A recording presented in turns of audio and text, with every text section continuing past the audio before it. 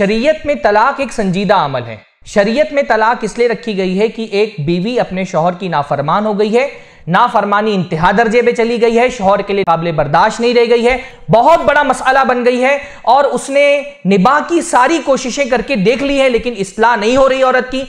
तो शरीयत ने आखिरी दर्जे में इजाज़त दी है कि इंसान तलाक का ऑप्शन इस्तेमाल कर सकता है। कब इस्तेमाल कर सकता है? जब उसने फैसला कर लिया है कि अब उसको इस औरत के साथ नहीं रहना है, ये इजदबाजी ज़िंदगी खत्म करनी है। शरीयत में तलाक धमकी देने के लिए मशरू नहीं की गई कि आप छोटी छोटी बात पर औरत को तलाक की धमकी दें, खाने में नमक ज़्यादा हो गया तो तलाक, फला जगह फ़ोन कर दिया तो तलाक, घर से बाहर निकल गई तो तलाक, फला कपड़ा पहन लिया तो तलाक। तलाक की धमकी देना बहुत ही नीच और घटिया अमल है। ऐसे शोहर अच्छे शोहर नहीं होते जो बात बात पर अपनी बीवी को तलाक की धमकी देते हैं और उनके सर पे मुस्तकिल तलाक की तलवार लटकती रहती है। कोई औरत अपने शोहर से कैसे मोहब्बत करेगी जो हर बात पर उसको तलाक की धमकी देता है और तलाक की तलवार हमेशा उसके सामने तान करके रखता है? लिहाजा तलाक धमकी देने के लिए मशरू नहीं की गई है। तलाक एक संजीदा अमल है। जब आपको रिश्ता खत्म करने का फैसला कर ले, तब तलाक का लफ्ज आपकी जबान पर आना चाहिए।